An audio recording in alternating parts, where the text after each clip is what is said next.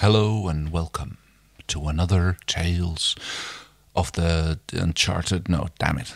Tormented Space. Tormented Space, Oh, wow. I was, I- I I was really intrigued by a really sort of saucy Rod Stewart. I know, I was trying that and I completely lost track of what I was saying because I was focusing too much on doing the voice. Anyway, hi, uh, I'm Kay.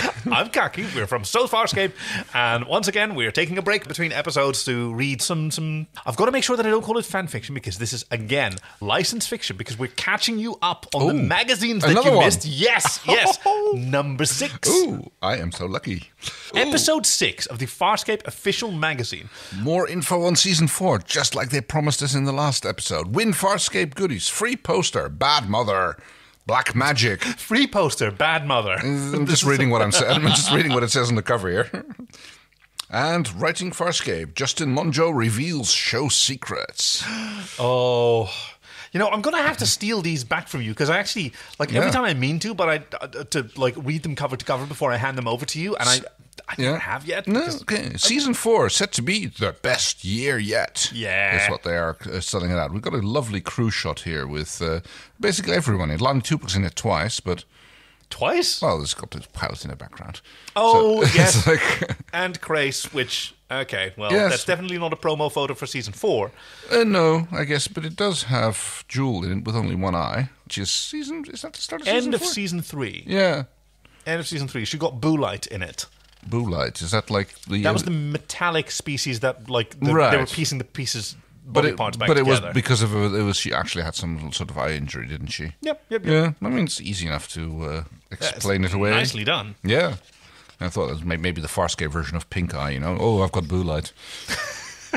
Oh, wow. Yikes. Ah, and a fantastic shot of Claudia Black in her best Mad Max style uh, pose there. Oh yeah. oh, that must have been in like infinite possibilities. Yes. Driving around in the desert of Australia. Oh, oh this, um, this is an oldie. This is back to Taking the Stone. Oh yeah. Yeah. Uh, Chiana and Aeryn, where uh, Chiana had her uh, sort of dreadlock mud Ah, phase. And here we get to the sons and daughters pay phase. Where there's a photo of. Uh, Xhalax and Aeryn, yes. the, the the Sun Women. Oh, yeah. So we're back to that episode. There's quite a lot of things going on here. Hidden memories. Who's this? I don't remember. Oh, that's John in his uh, massively uh, light protection outfit thing. You know, with these. Oh yes, against Traltics, That's where the one, yes. when humans are superior. and that's the story. that's so the far? no, no, no. Oh. That's the music cue. That's that that that happens when I think Oh, okay. humans are superior. Fair. No, good. Okay.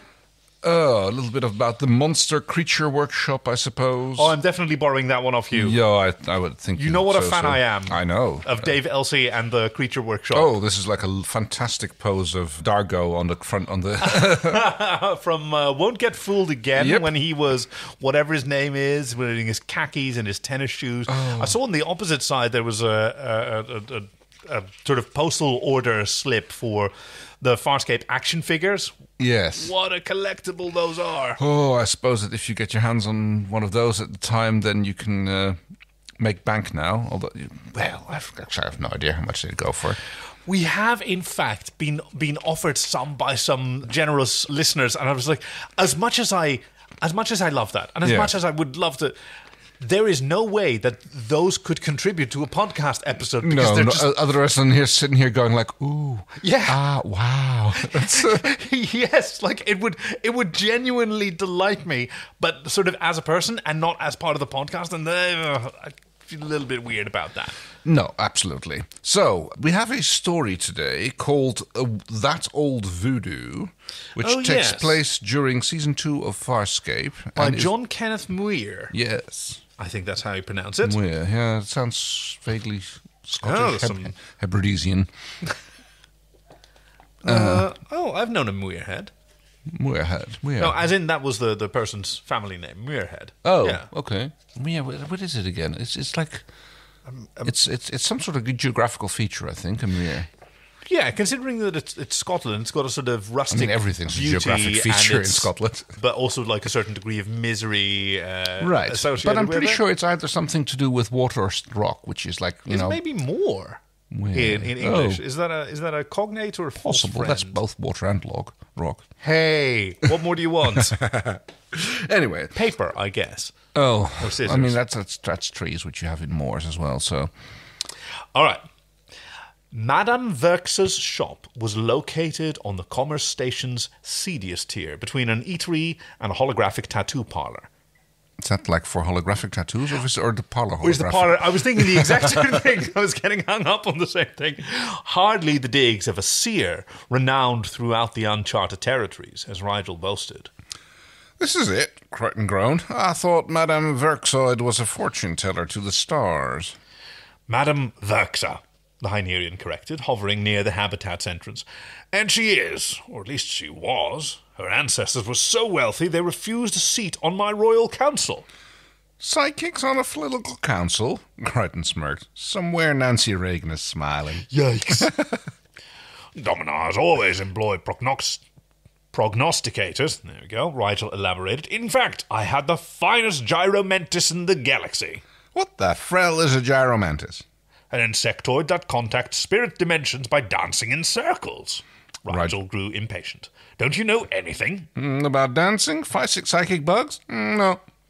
That is not true. You well, you will have been going to that pleasure planet in the future at this point. Fair. Then wait outside with while Verxa scans my future. I've denied myself this pleasure too long and don't want you ruining it. No way. Crichton followed as uh, Rygel throne sled crossed the pra- uh, the permeable velvet coloured screen at the shop's entrance. Sounds like it's a holographic shop. Yeah.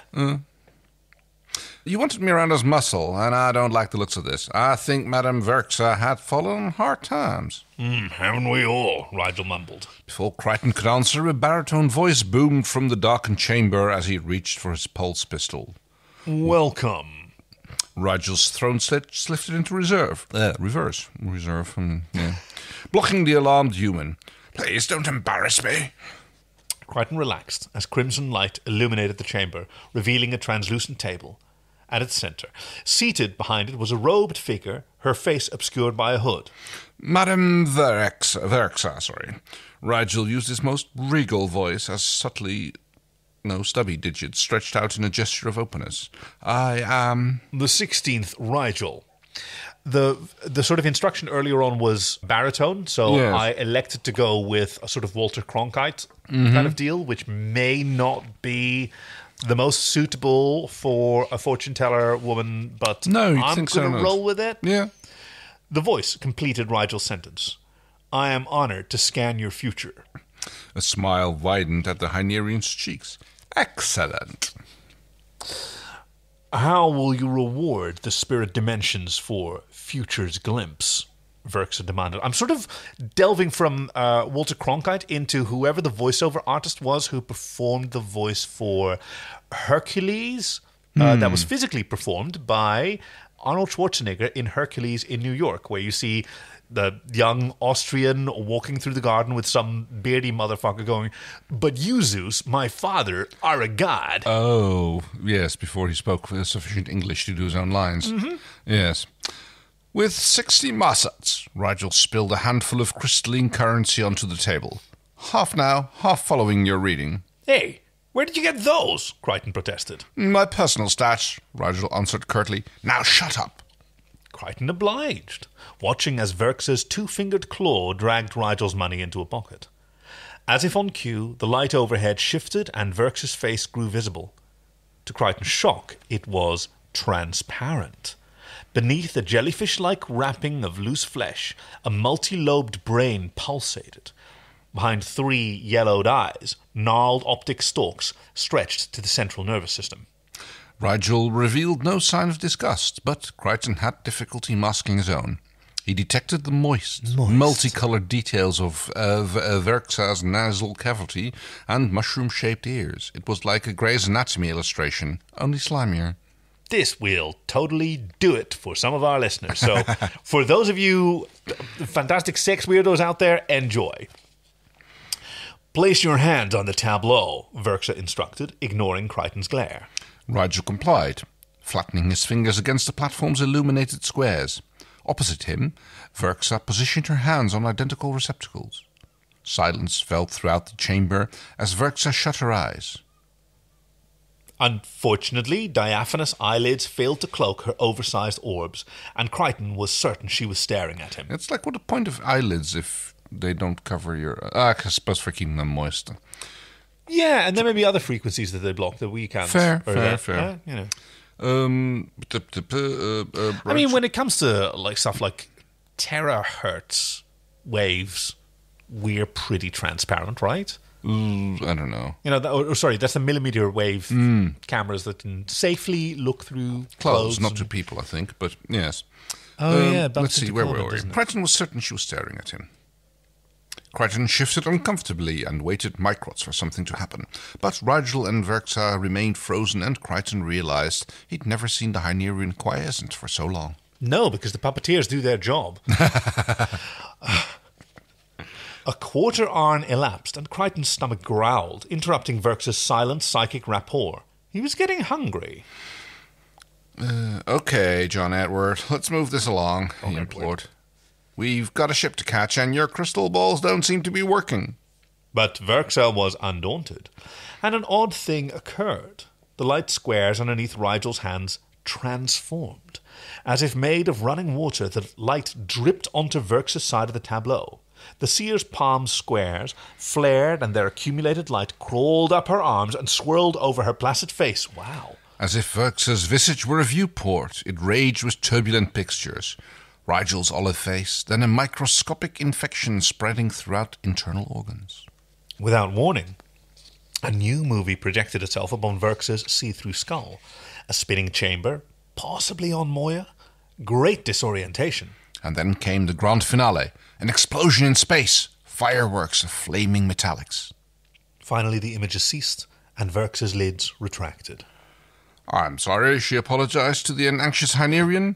You'll be ravaged by disease. A shipmate will lose the path, and your crew will die in freezing space. Your vessel destroyed.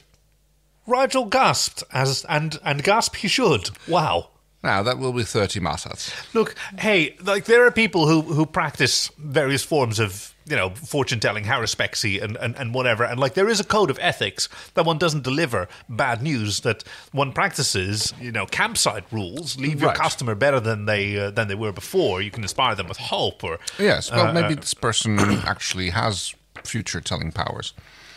Does does that not matter? Shouldn't you still have the same obligation when you're providing? Depends on what you're doing, you know? I mean, I'd say that that obligation is a lot stronger if you're a quack or a uh, entertainer, let's put it in a generous way, Right. than if you are actually providing a bona fide service. Now, okay, there there are quacks out there who like prey on the vulnerability of Right. uh, of people, but like it's also like a, a tradition of of I guess entertainment is a, is a valid way Right, to say that's what I'm saying. Providing Like- comfort, maybe an outlet. Yes, but if you are providing a bona fide future viewing service, then, you know, the rules might be different. I mean, I can see that the rules would be different. It's like, no, everything will be fine, you know? yeah. Okay. Everything will work out just as it was going to. Yes. Rygel sat in his quarters on Moya, dejected. Bad enough that he'd paid from his personal fortune for services that, as Dominar, should have been his privilege. But to hear so dire a prediction was intolerable. Intolerable. Perhaps the only fate worse than dying with escaped prisoners was dying in mud with escaped prisoners. He Doesn't unlike his mud, does he? No. Oh, he hates mud. But, which is weird as an amphibian, but okay. But dying from an invitation of destructive cells was hardly more desirable, and Rygel wondered how the, his end would come. Would his shipmates even wait until his final breath to ransack his belongings? Chiana had been eyeing his selection glow globes for a quarter cycle. And Rygel, by the way, has made this very clear when people pointed out, like, Yeah. you're, you're aquatic. Yes, water. Yeah, not, Not mud. mud. yes. Fair. Mud sucks you down. It, ugh. it was all so grim. And Zeb- Zebulgan seers like Verxa were never wrong. That's why they were so highly prized. Thoughtful, Rygel. Zhaan's melodic voice interrupted Rygel's brooding. Oh, came as soon as Jolton, uh, uh, John reported his prophecy. I'm dying, the Hynerian moped. We all share that fate, the Delvian replied evenly. But I'm dying right now, Rygel spat. And I hoped you would tell me about. The goddess? Does she show you the future? No, Zhaan knelt behind, beside him. It's her children who create all futures. Then what did Delvians make of seers? Rygel was curious. The goddess has blessed many pro- pro- prognitions with gifts. Prognosticators. It's Oh, a tricky one, isn't it? prognost- Oh, yes. The goddess has blessed many prognosticators with gifts of insight, Sans con- Zhaan considered. But if self-interest dominates kindness, vision grow muddled. But if self-interest dominates kindness, Oh, sorry. grow. Yeah. Right, so it's a dominar. It's not don't, like... Yes, I don't. Sorry. Self-interest and dominar are very closely associated. I know, right? That's why my mind went there. Because psychics take payment, their insight is compromised? Rygel sought to understand. In Hynerian culture, they've always been rewarded. That's corruption, Wow. Zhaan insisted. Wow. The goddess grants these gifts uh, for the betterment of her children. To provide from her that generosity is unthinkable. The goddess would never bless one so venal as Vrexa with insight. So how do you explain this? Rygel lifted his purple robe, revealing a misshapen discoloration on the green flesh above his third stomach. Zhaan recoiled. The disease, Rygel was glum. Verx's prophecy has come true. This is Dren, Aeryn swore. Muscular arms folded across her chest. Rygel is sick. Oh, sorry. Next, next, your line. Sorry. Rygel is sick. Replied, repeated. Sorry, I'd already moved on to the next page because I thought these were all oh. yours. Let's try this again, shall we then? Like, this is Dren, Aeryn swore. Muscular arms fell across her chest. Rygel is sick, Zhaan repeated, looking worriedly at her friends. How bad? Crichton wondered, leaning against the main panel in the gold hued command tier. Oh, One stomach has nearly failed, and the others will follow. I've begun tests, but Hynerian diseases are unusual, Zhaan explained. Two thirds of their physiologically seems to be geared toward digestion. Should Rygel lose even one stomach, he'll die of starvation. Wow. Uh, an ironic end for a Hynerian, Aeryn acknowledged with a raised eyebrow. But as far as this disease representing a prophecy come true, I don't Frelling think so. Chiana shivered. Is it Maldis? At this point, I always want to pull a house and say it's never Maldis anymore. No, no, no, I guess not. The Wicked Witch of the West? Crichton straightened. Why wouldn't he attack? Why would he attack Rygel instead of me or Zhaan? I concur, Zhaan nodded. This isn't Maldis. It's never Maldis. then Verk, then Verxa is a legitimate seer. Dargo reasoned. She can read the future. Don't tell me Luxans are as stupid as Hynerians, Aeryn protested. Dargo grimaced. I suppose peacekeepers don't believe in prophecy. Mm, peacekeepers forge the future with discipline and resolve. They don't seek answers from meat-grubbing charlatans. M- Massat. I think that is. The, Oh, the, yes. the Massats, that's the currency. Right, sorry. Um, John. Zhaan saw the human in deep thought. Verxa showed us real images. Rygel's face, a spinning room, a ship destroyed, Crichton recalled. Zebulgans project, project thoughts. She stole those images from Rygel's mind, or yours, Aeryn suggested. Or she may have legitimately determined our future, Dargo maintained. Until the amazing Randi debunks her, we should assume the worst. Crichton was grim. That she's seen our future, or one possible future. Yotzes, Aeryn exclaimed. What were her predictions? That one of us would get lost? That we'd die in space? None of that's happened. Rygel's sick because he's soft-bellied troll who believes in nonsense. Okay, okay, you're at least half right. I disagree with your description of our friend, Aeryn, but you have a point, Zhaan acknowledged. Rygel has faith in Verx's prognostications. Therefore, the illness could be psychosomatic. With physical manifestations? Chiana sounded doubtful. That is what psychosomatic means. Yes, well, Under certain mind states, such as meditative trance, some species heal sicknesses, go blind, even levitate, Zhaan confirmed. The mind body connection is a powerful tool, dude. Where the brain directs, our body follows, man. so Buckwheat needs a little couch time with Dr. Katz, Crichton reasoned. Before Zhaan could reply, an alarm chimed, and Pilot's helmet like visage materialized on the clamshell viewer. Oh, there it is. Forgive the intrusion, Pilot began. There's a problem. What's wrong? Aeryn and Crichton questioned simultaneously. Moya has detected enormous quantities of chlorium in her neural nexus. Oh no. Pilot's eyes bulged. Portions of her mind are becoming numb. How could chlorium get aboard? Dargo blurted. That substance was one of the six forbidden Leviathan cargoes. Moya has verified its presence, Pilot answered testily, and at this rate of expansion, Moya will lose control of air bladders in an hour. Our atmosphere. Will be vented into space, Aeryn said, completing Chiana's thought. Uh, that's not all, Pilot warned. If Moya's senses don't return within two hours, she'll be unable to direct her engines to appropriate internal functions. Uh oh, Crichton grimaced. That could result in. Stoppage and backdraft. Moya will explode. The prophecy, Dargo whispered. First a loss of atmosphere, then destruction. Coincidence, Aeryn countered. Pilot, can DRDs repair the Nexus? Mm, DRDs aren't responding to directives. Okay, hang on. Moving to the next page. I'm getting there. I'm getting there. Uh, yeah, it's almost there. God. Dargo faced Crichton. One of us must enter the Nexus and remove the chlorium manually. Rock, paper, scissors? Crichton queried. Frell that, I'll go. Aeryn decided impatiently, making for Command's egg shaped exit. Be careful, John called after her. Verxa's predictions are looking more accurate by the macrot. But Aeryn was already gone. Superstitious hazmats, Aeryn swore as she removed the small, delicately curved access hatch to Moya's massively neural hive.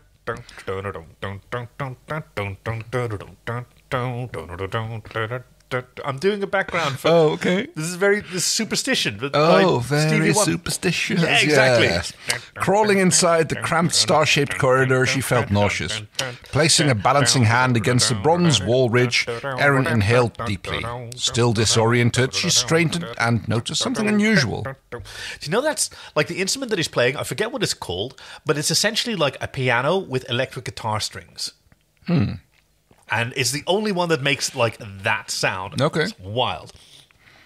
The compartment door had vanished. Aeryn shook her head, clearing out the dizziness, and glared at the other way. Maybe she turned herself around? She only gazed at it, but I love that you sort of inferred that she does glare the other way. Yeah, it's, it's an Aeryn thing. But there was no hatch in that direction either. Only an endless corridor. Oh, this is frelling great, Aeryn cursed. She had no idea which path to follow, and even when she took a tentative step in one direction, she collided with unforgiving wall. She could have sworn it hadn't been there a microt earlier. Mm-hmm. Ooh. Zhaan and Crichton stood patiently at Rygel's bedside in the Delvian's apothecary, the Hynerian spirits woefully low. As Zhaan probed at Rygel's tumor covered stomach, Crichton continued his interrogation. Can you remember anything else about Verxa? Uh, she's a Zeb- Zebulgun seer. I know that, Sparky. I need details. She's killing me with her prophecy, the downcast Hynerian grumbled. Isn't that enough? Her family refused the position on your council? Did they have any other political affiliations? I don't remember. Come on, this is important. Hmm. Well, there were rumblings of an alliance with Scarrans, the Hynerian huffed. But if that had happened, she wouldn't be conducting business out of a hovel. Scarrans, Crichton contemplated. Maybe she sold it out for a big payday to get off that orbiting slum? Perhaps, Zhaan considered. But why would Scarrans require a seer with their own formidable powers of telepathy? Mm, convenience, Crichton suggested. Maybe she's a spy living on that uh, station like a Nazi collaborator in Casablanca. Also, if a prophesician prophesizes, like then that doesn't, in, you know, you can't influence the future. You know, you can't like prophesize things and make, make them happen. Then you're like a future shaper, not a prof- prophesizer. Like, I agree, but I kind of want to argue with you to make you say prophesizer a few more times and see how many syllables wind up in there. but why attack us? Scorpius half Scarran. They might be curious why Darth Vader wants the plans to the Death Star. Zhaan looked at him quizzically, continuing her examination. But they won't get answers by killing us and destroying Moya. A flaw in their plan, Crichton acknowledged, confused, or in my theory. Uh, John, Zhaan called abruptly, gripping Rygel's left palm. See that? What is it? Rygel worried. A puncture. Zhaan pointed out the pinprick on Rygel's hand. Did Verxa give you an injection? No. But you did put your little. but you did put your little patty cakes on that table, Crichton reminded him. Maybe it was encoded to deliver something into your system. A virus? You mean she infected me? Rygel's mouth became an ugly scowl. That Tralk! yes, because when someone infects you with a with a disease through illicit means, that means they're a slut. Mm. In command, Chiana tensed as Pilot's crown skull appeared on the clamshell. Three ships have emerged from Starburst. Oh, wow. The symbiote reported. Scarrans. No, no, Mister Muir. Scarrans don't starburst. Oh, good point. Yes. Yes, that is a, a, a, defense maneuver unique to Leviathans. Yes. Can Moya starburst? I'm surprised it made it through uh, the, the checking. That, uh, yeah. yeah. Oh, well. Or, maybe they're doing their own thing. Chiana queried, Can Moya starburst? Mm, Then those neutral pathways must be purged of chlorium, Pilot disclosed. Officer Sun hasn't removed it, and the numbness is spreading. Okay, I know it's not our thing to criticize writers, and I know that Demure has uh, undoubtedly like had a lot of practice, but I'm noticing like an aversion to he said and she said. Oh, They right, said yes. that whole sort of thing, which is totally fine. You don't have to disclose and prognosticate, or as John Watson does an awful lot in the Sherlock Holmes stories, uh, ejaculate. Ejaculated, yes. Yes. Officer Sun hasn't removed it all, and the numbness is spreading. Um, sorry, I lost my per- my. Oh, here we go. on the right Accelerate column? to maximum, Chiana ordered, watching the viewing port warily as the trio of snub-nosed fighters, all bristling with weaponry, arced towards the teardrop-shaped leviathan. She addressed her next remark to the com on her jumpsuit. Dargo, we've got a problem. Scarrans, Dargo grumbled. That's not good. Hail, Prince of the Obvious. Yeah. And pilot says Aeryn hasn't cleared out the chlorium, Chiana added.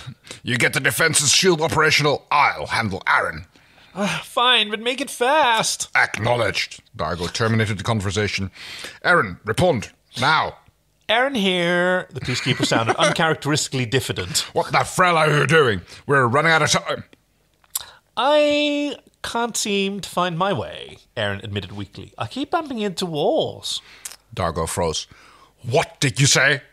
I'm lost, Aeryn conceded. I keep walking in circles. Yachts, have you been smoking gala root? No, but something's wrong. I can't think straight. Stay where you are. Dargo rolled his eyes. I'll get to you after I complete your mission. Wow. Crichton listened intently as Dargo recounted the situation. Scarran fighters were closing. Aeryn was wandering the ship's innards in a stupor, and there was no indication of chlorium in Moya's nexus, despite pilots' protestations to the contrary. Two of Verx's predictions had come true, and unless Moya could be healed, the most devastating omen would come to pass total destruction. I have it, Zhaan announced triumphantly, and Crichton Thank the goddess for Zhaan's calm in the midst of these all too frequent storms. It's a nano device, a miniature trickster, she revealed, pointing to a diagram of Rygel's nervous system. Certain Scarran corporations use them to sabotage competition. A microscopic chip was delivered through injection, lodging itself in the portion of Rygel's brain modulating his senses. Remove it! Rygel ordered imperiously. This isn't that simple, Rygel, uh, Zhaan repon- responded. this mini robot is causing the tumors? Crichton asked. Oh, he's not sick at all, Zhaan clarified. The nano trickster has merely convinced Rygel's brain that he's sick. His body is responding with appropriate physical symptoms. Are you saying I'm imagining this? Rygel wasn't happy. That Dren, I'm dying. You're not, Zhaan assured him. Your mind's been duped, and if I'm not mistaken, Moya is suffering the same malady. Moya? Chlorium, Zhaan explained. How could it come aboard undetected? Rygel must have infected Moya with nano trickster, and Moya did likewise to Aeryn. Then this trickster replicates itself. Hmm, undoubtedly. Which means we've all been exposed. If Aeryn's contaminated, why isn't she sick? Rygel demanded. It's a smart bug, Zhaan related. It targets and short circuits each individual's most valuable senses. It convinced Rygel that his most critical faculty, digestion, was damaged. Similarly, Moral's, Moya's neural nexus, her very brain, has stopped responding to commands. And Aeryn? Her sense of clear headedness seems affected, Zhaan realized.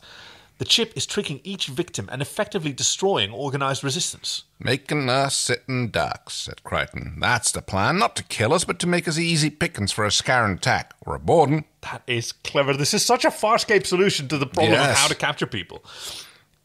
Or the Scarran ships could be hallucinations. Zhaan offered. Oh, I doubt they're part of Rex's voodoo. I bet they've been shadowing us since we left the station, waiting for just the right opportunity to strike. Then we need to remove these frelling things, Rygel complained. Starting with me. Uh, I'm no diagnostician, Rygel. My surgical skill is rudimentary. Wait a second. Crichton had a brainstorm. Have I ever told you about E ECT? Yes, ECT phone home. That's a good joke. this is no fire time for fairy tales, Crichton. That's a really good joke. and not ET, ECT, electroconvulsive shock therapy. It's an Earth technique that zaps people out of altered states. How barbaric. But Moya needs a shock to purge the trickster. If we electrify our hull, it could be exactly what the doctor ordered.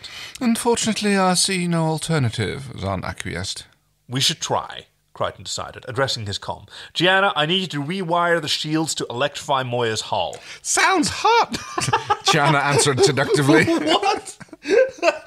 Read the room, Chi. but also, please never change. Crichton and Zhaan exchanged a worried look. She's infected, they declared oh, simultaneously, aware Chiana's most powerful sense was probably sexual. I better get up there. Crichton reached command at full gallop, brushed past Chiana and raced to the shield assembly, a boxy thing that resembled a mid 1950s telephone switchboard. Yeah, it does, doesn't he? He needed time to reverse three connections, splice two lines, and bring the system up. Scarrans have entered firing range, Pilot reported solemnly. Try a loop or a barrel roll. Uh, what? Crichton ignored Pilot, focusing on the task in front of him. He tied the last connection, stepped back, and waited for a split second. This had to work. From the perspective of the lead Scarran fighter, the fleeing Leviathan had failed utterly. A misconceived attempt to raise defenses was instead resulting in chaotic flares of white sparks. The bulbous ship had been stung by an electric surge. The fighter drew near the lumbering craft, preparing to extend claw like docking clamps. Crichton clenched his teeth. Pilot! Moya is stunned, but no longer numb. The symbiont proclaimed, surprise colouring his turtle like face. Starburst! Pilot's graceful arms danced across his console. Starbursting now! Oh, how- Prepare for starburst! yeah! The lead Scarran almost riding her back, Moya blurred and shifted out of normal space time with an incredible rush. Her energetic wake fattened the.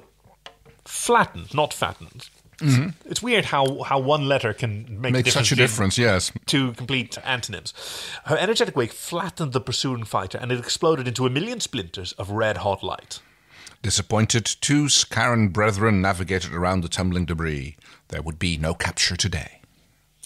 Frelling fantastic, Crichton whooped, slowly becoming conscious of Chiana's gloved hands around his waist. Uh, Zhaan! I know, Zhaan's voice broadca- broadcast throughout command. I'm developing a serum to flush out the nano tricksters. It should be less jolting than your ECT. Hurry up! Crichton prodded as the Nebari goosed his rear. In the meantime, someone ought to help Aeryn out of the basement. Oh. John Kenneth Muir is author of the soon to be published original Space 1999 novel, The Forsaken. Wow. From Powers Books, uh, the films of John Carpenter. Carpenter, Terror Television, Wes Craven, The Art of Horror, and horror films of the 1970s.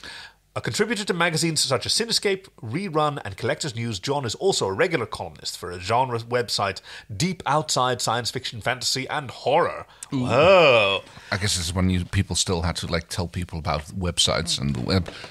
I'm amazed that there isn't like a page counter and a web ring on this magazine. Well, yes, they kind of never managed to work. I mean, I, I'm kind of disappointed they don't have any printed out GIFs in here. yes, uh, a, a work in progress and a, and a flaming skull. Yes.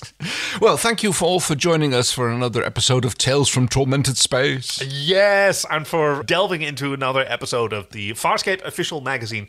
Uh, we'll see you next week with season four, episode fifteen. I'm really looking forward to it. Okay, I'm it's clearly it's a memorable expl- uh, episode. it is, but we've done two of these recordings, and Whoa. I'm Cocky. I'm Kay. Bye bye. Bye bye.